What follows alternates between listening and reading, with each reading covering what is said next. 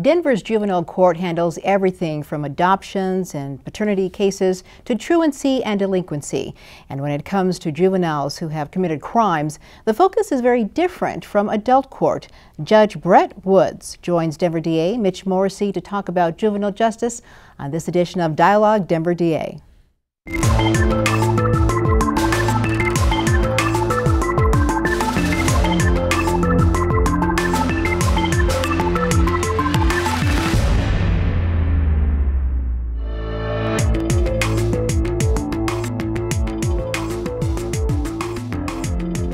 Hello, everyone. I'm Tamara Banks, and welcome to Dialogue Denver DA. Mitch, always great to see you. Good to see you. I'm Tamara. so honored to have our guest today. Yeah, we have a, a, real special guest and somebody that I've known for a long time before he took the position that he has now. He's the presiding judge of our juvenile court system, which is unique in Denver, and it's Brett Woods. And it's great to have him as a guest. Thanks for having me. Judge Wood, so great to have you. I, I can't imagine all the stories you must have to tell. Um, tell us first start a little bit about talking the difference between um, working with juveniles and working with adults. I'm sure there are many differences. Well, the main difference, is, of course, is uh, the focus of our court, which is uh, a rehabilitation court. And so when we're working with juveniles who've been charged with crimes, they're not called defendants, but they're called juveniles. They're not called uh, criminal defendants. They're in what is known as a delinquency court. And so if we're very rehabilitation focused with them, we're working on them to try to bring them into the community so that they're not uh, detained. We don't call it uh, jail, we call it detention, and we try not to have them in detention. And we work very hard on that so that they don't see you down the road mm-hmm. Uh, when they're in the adult system. We try to keep them out of the adult system, and that's, that's what we try to do. And you've been working in the, with the juveniles for almost eight years, is that right? I've been on the bench for eight years as a juvenile judge. Mm -hmm. Prior to that, I was a magistrate in Denver County Court, and I worked as a municipal judge in Aurora. I've been the presiding judge here at Denver Juvenile Court for two years now.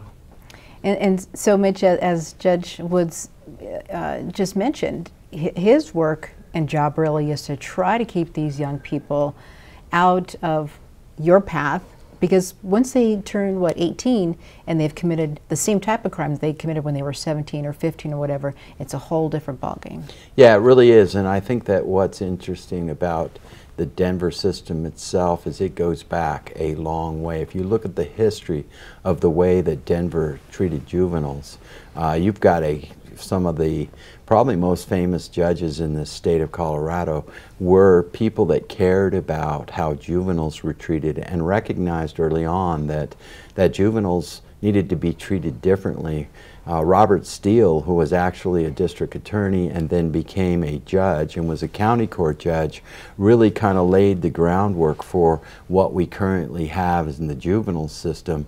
Uh, there was some very, Judge Lindsey then took up the banner and really became nationally known for that whole movement. It was a progressive movement to treat juveniles differently, to realize that they were younger and there were differences, that type of thing.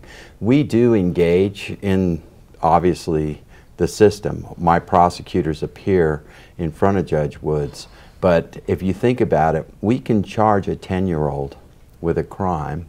Technically, it's a crime, but they're treated differently. We don't call them crimes. But so from 10 to 18, uh, we have this system that is specifically for juveniles and specifically geared around making sure they're going to school, making sure they're getting the skills they need to stay out of the adult system, which kicks in then when you're 18.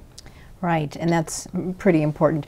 So the types of crimes or offenses that you see at this age, are they primarily graffiti, curfew violations, or, or other types of things?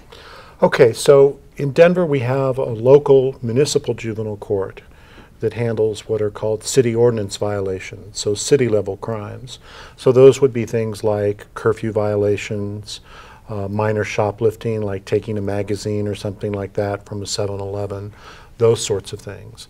Then the Denver Juvenile Court, which you're right, it's been around for over 100 years, handles the state level offenses. So we do things like major graffiti, uh, car thefts, possession of controlled substances, all the way up to sexual assaults and robbery. We can even do murder, although that's more likely to be transferred to the adult system than stay into the juvenile court. But in theory, we can, and we have had murder cases come through Denver Juvenile Court. So it, it's a wide variety of crimes that we deal with in our court system. Talk about how you start to determine, I guess is, is a question for you, Mitch, when you look at uh, the offense and the child um, and you say this is now, this person needs to be charged as an adult.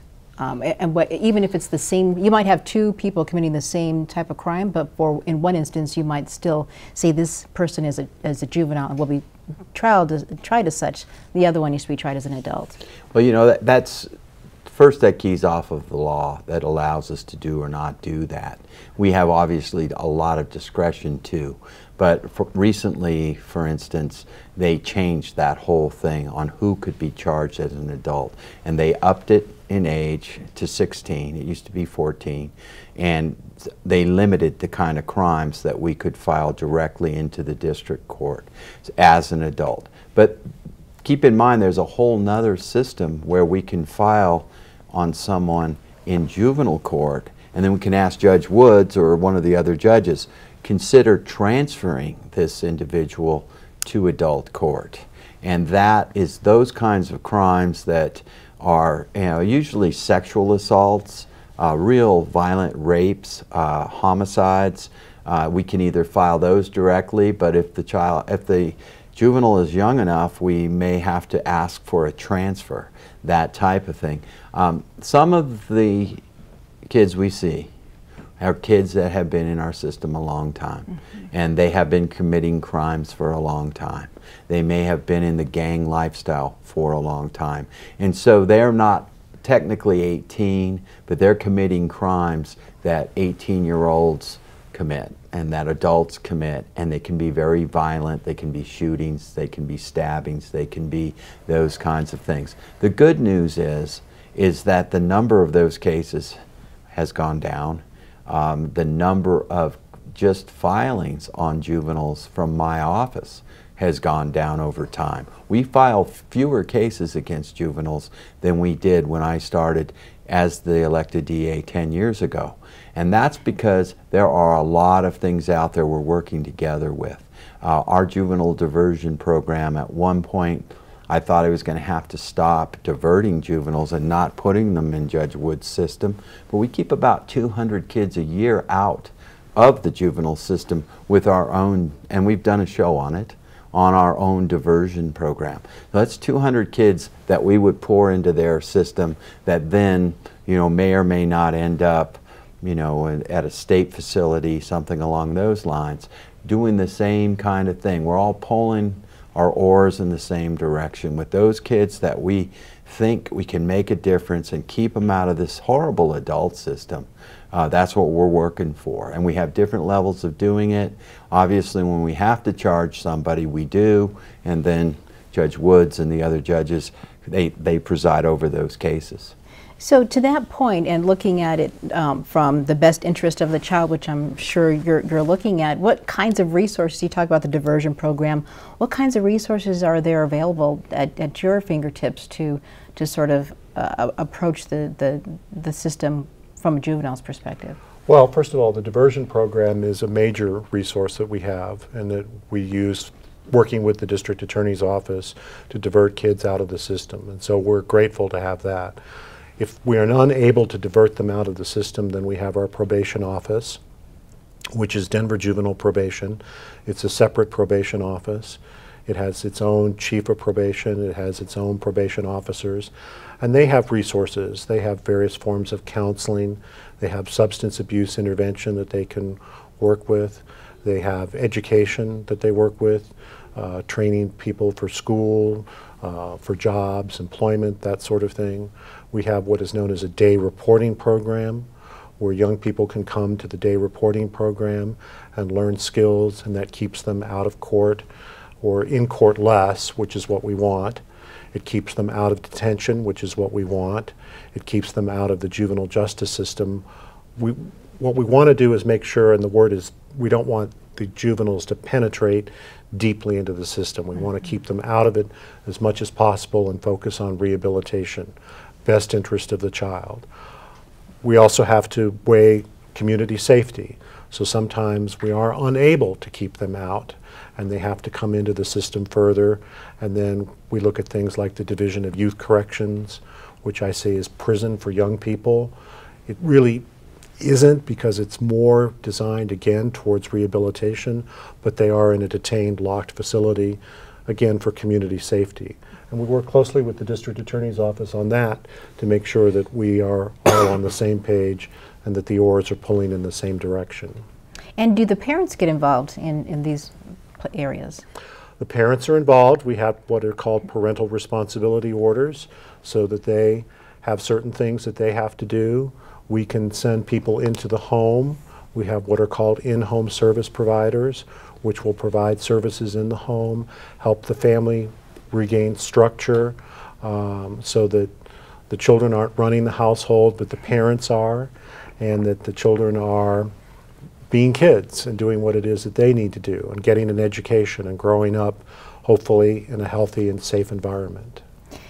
And I understand you also work in, in the area of child neglect, where the child necessarily hasn't done anything wrong, it's just been neglected, and so now parents are, are being brought into court. That's right. I mean, when I, when I talk to friends, I mean, most people think of the juvenile court and they think of people that are young between the ages of 10 and 18 who have been charged with crimes. And that's kind of what gets the publicity, if you will. But we have a whole other side of the juvenile court, which is the dependency or neglect side. Mm -hmm. That's the child welfare side. And that's the side where parents have maybe gotten involved in drugs or they're abusing alcohol or they have mental health issues and they're not being able to take care of their children the way they should. And so the juvenile court uh, institutes a proceeding called a dependency and neglect proceeding. It's child welfare. The young people may be removed from the parents for a period of time while we work with the family to try to fix the problem that brought them to our attention. We try to reunify the family whenever possible. If we're unable to reunify the family, then we proceed towards termination of parental rights and adoption. And so that's a whole other side to juvenile court.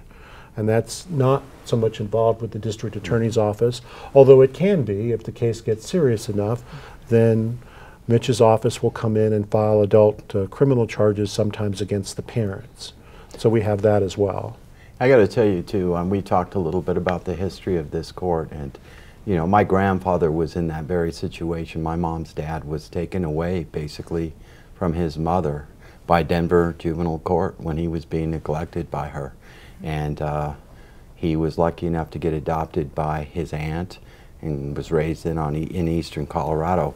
And I think that this part of this court is so important because the work that the judges do there, the work that the people in that side of the juvenile justice system, they save these kids' lives a lot. I know they that they saved my grandfather's life. I've talked I talked to him about it when he was alive, and it's it's a it's something that I think that they don't get a lot of credit for when things don't go well.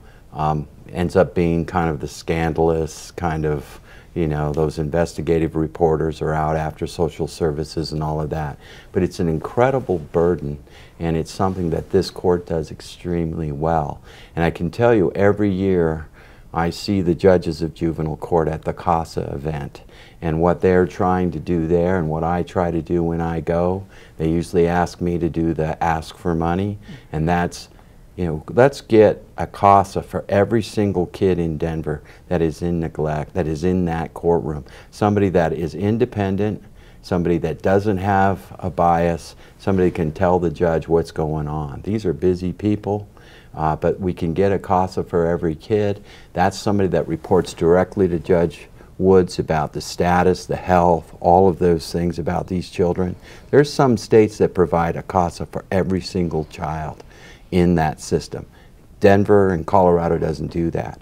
So we try to raise the money then so we can have a CASA for the judges to help protect these kids. And that's really something that I believe is important because those kids too, if they're left neglected, they're left in those homes, they end up in our system. Mm -hmm. Sometimes they end up victims of horrible murders and things like that, but oftentimes as adults, they'll come into our system as defendants. So it's a win-win for the community. Right, right. It sort of feels like you're somewhere between hope and heartbreak sometimes. I want to hear more of your stories in just a bit. We're going to take a, a quick break. We're here with uh, Judge Brett Woods, and you're watching Dialogue Denver DA. Back in a moment.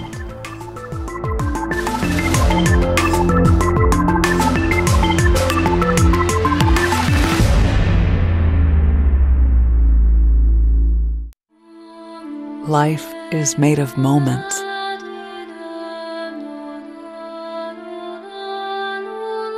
family. A drunk driver could take it all away. Keep your family safe on the road, because after all, nothing is more beautiful. Mothers Against Drunk Driving. Keep your family safe.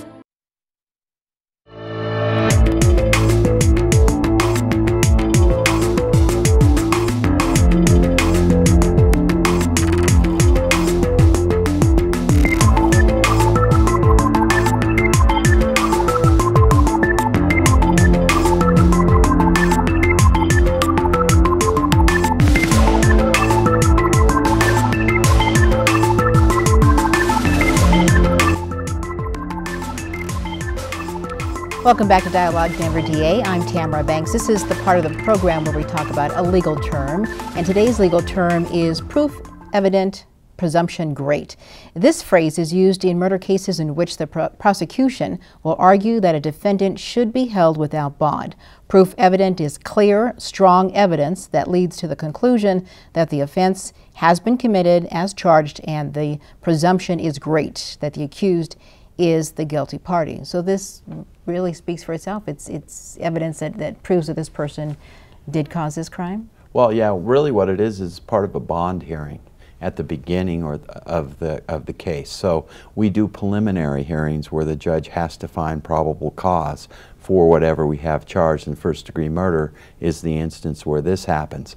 But we go beyond the probable cause because we want this person held without bond. Everybody has a right to bond in our state, except for when a judge finds that the evidence is proof, the proof evident presumption great. So the judge will actually make a finding based on what's presented at the hearing to say, yes, it's here. I believe you can, you know, the evidence is that strong that you committed a murder you shouldn't post bond, and then the person can be held without bond. So it doesn't matter how much money they have or how many houses they can put up. They cannot bond out of jail until after a jury has made a decision on if they're guilty or not of first degree murder.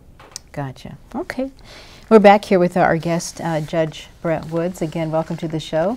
Thank you. And I have to ask you about marijuana since it was passed and became legal recreational marijuana here in Colorado. Are you seeing any cases with the juveniles tied to marijuana? Well, it's not legal for juveniles. Right. So uh, the minimum age is 18, so it's still not legal for juveniles. Uh, we do see possession of marijuana by juveniles. We see use by juveniles of marijuana.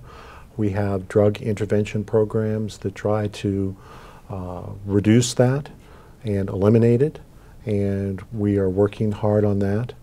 One of the things that we have seen that has come up a little bit on some of our robbery cases is that we've had uh, some of the medical marijuana dispensaries and the shops that sell marijuana get broken into, sometimes by juveniles who are either trying to take the marijuana or trying to take some money from there. And then the district attorney will charge them and we will deal with them in court. Right.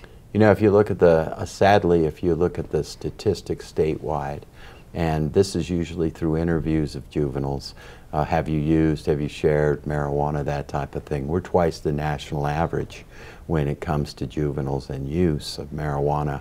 Colorado uh, is. Colorado is oh, twice the national wow. average. And I think part of the idea is somewhat like alcohol is this isn't illegal. We're just not old enough to use it yet. Mm -hmm. so if we can get our hands on it let's use it. And that's kind of a mentality i think that we're seeing. But colorado's juvenile use of marijuana is twice that of the national average. And then Judge Woods talked about some of the other problems that we're seeing, and it's not just juveniles. We're seeing the murders around medical and recreational marijuana. Usually it's home invasion robberies that the homeowner is killed or the homeowner kills the person coming in and of course then Make My Day becomes a role there. Uh, we're seeing the robberies. Uh, we're seeing burglaries of the warehouses and that's usually where they will steal the product.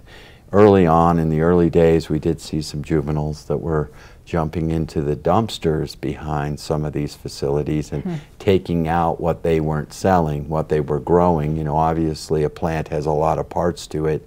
Uh, they were jumping in and taking the stems and the kind of things that are not what the user is interested in having, but still can be utilized to get intoxicated. So uh, we, we had some juveniles that were doing that early on, but I think that we've solved that problem by making sure that the warehouses are disposing of their unwanted products in a way that doesn't mm -hmm. impact juveniles. But you know, there's a lot of crime around it. Uh, the illegal grows that we've seen usually aren't juveniles, but we're taking in tons of marijuana where it used to be pounds of marijuana, for instance.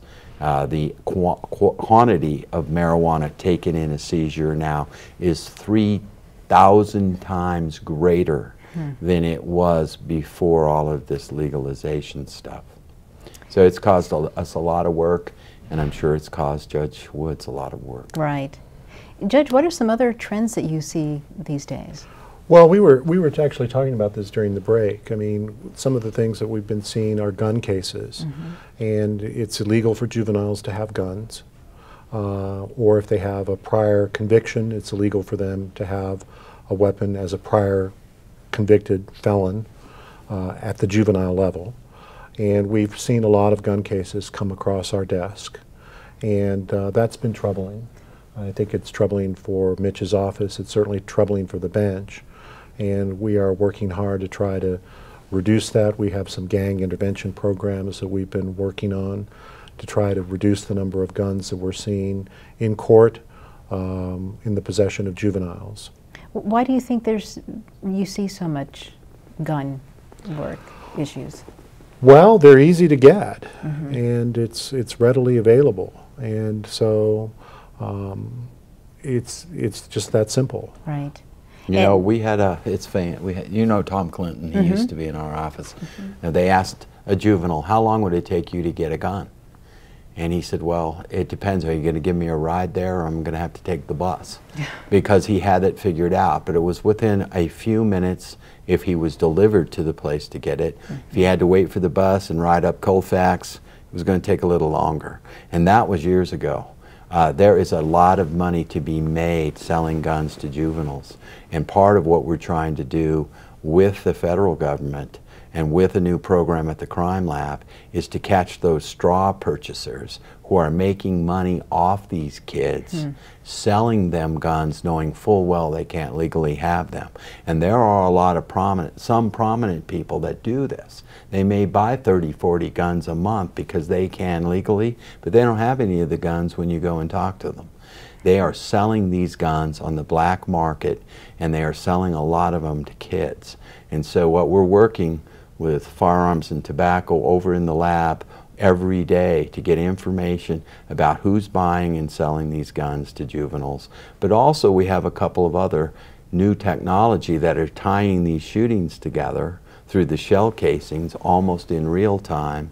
And so when we have a juvenile that's had a gun for six months and used it five or six times, we know that forensically before we even go to talk to them when we find them with the gun.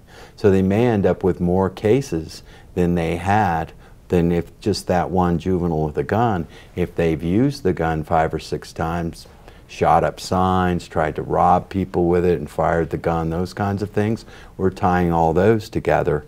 And then the other thing that's going on is we have now in Denver, in certain neighborhoods, what's called Shot Spotter. And it's a audio system that is notifying the police when gunshots are being picked up on the system mm -hmm. and mm-hmm. telling them where that's happening. And sometimes the officers are getting there in a time in a timely fashion that the shooter is still there, shooting the gun off into the air or still there with the gun. And so we're catching them faster, and a lot of them, again, are juveniles. And the concern with juveniles, anybody with a gun, but obviously a young person with a gun is not going to necessarily use the same judgment that somebody that can legally and that's been trained and has a gun as part of their work or whatever.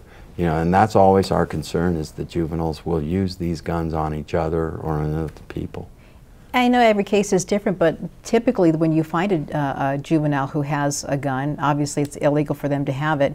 Do they typically get child as a juvenile with a weapon, or does it become an adult charge? It used to be that we could file them as adults. Mm -hmm. The law changed a couple of years ago. We can't do that any longer. We can't file them direct, but obviously we would ask Judge Woods in a scenario where we had somebody maybe that has used a gun five or six times and juvenile that they've you know, they've hurt people, they've robbed people, and now we have juvenile with a handgun. We could ask him to transfer that person to uh, adult court. But you know, I can tell you that doesn't happen a lot. It's usually the robberies with the guns, mm -hmm. the sexual assaults with the guns, where somebody actually gets shot by the gun that we ask the judges to do a transfer hearing. And I understand that heroin is a, is a trend too with young people. We've seen an uptick in that, yes, mm -hmm. and that's troubling. Uh, we've seen an uptick uh, in a lot of possession of controlled substances by young people. Uh, we have problems with methamphetamine. We have problems with cocaine. We have problems with heroin. We have problems with marijuana. Because again, although marijuana is legal for some people in Colorado, just like alcohol is, marijuana is not legal for young people ages 10 to 18. They can't have it, they can't possess it, they're not allowed to use it. Mm -hmm. We also see it in our dependency or neglect side, where we have young people that are using, that are not necessarily being charged with a crime by the district attorney's office, but are still in our system on the dependency neglect side, where we're giving them drug treatment, trying to get them weaned off of the off, off of the drug if we can possibly do that. And we're always looking for that. Our diversion program, mm -hmm. uh, we have mostly boys. We've got to have male uh, males that are working there as the officers because even in our diversion program, we are giving kids urinalysis tests to see if they're using. I mean, part of getting them out of this system is getting them clean and sober so they're making right decisions. They're staying out of the criminal justice system. So i think from beginning to end probation juvenile probation all of that drug testing is an incredible incredible part of that. And you know getting the message across that you know, this is the wrong decision to be making based on the situation that you're in, right. that you keep using, you're going to end up getting revoked, you're going to end up in juvenile court if you're in diversion, you're going to end up in a institution if you're if you're uh, on juvenile probation. I mean, it's a hard message to get across, but you know, one of the most disturbing things is, and to see the uptick in juvenile court is obviously a bad sign. But when you look at the emergency room, mm, people mm -hmm. that mm-hmm. are going there, if you and you see the deaths right. that are related to heroin, those are all signs that we have a problem it's a problem that not a lot of people want to talk about, so I appreciate the fact that Judge Woods is willing to. Right. Uh, it's kind of this nasty little secret, but it is a national problem that we see here in Denver as well. Just one quick question. We just have a few seconds. How young is the youngest person in your court?